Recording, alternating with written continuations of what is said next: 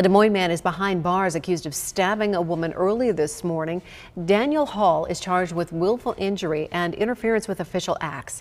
Officers found the victim stabbed in the neck at a home on Southwest 9th. She was taken to the hospital. Police say Hall locked himself in a car. He had a knife. Officers broke the window of the car and tased him to take him into custody.